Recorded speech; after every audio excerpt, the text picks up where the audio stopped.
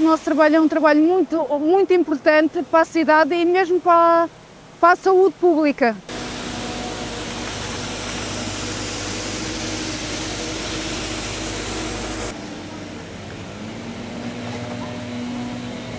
O orgulho é depois de, é no fim mesmo de se ver a limpeza que fica e ver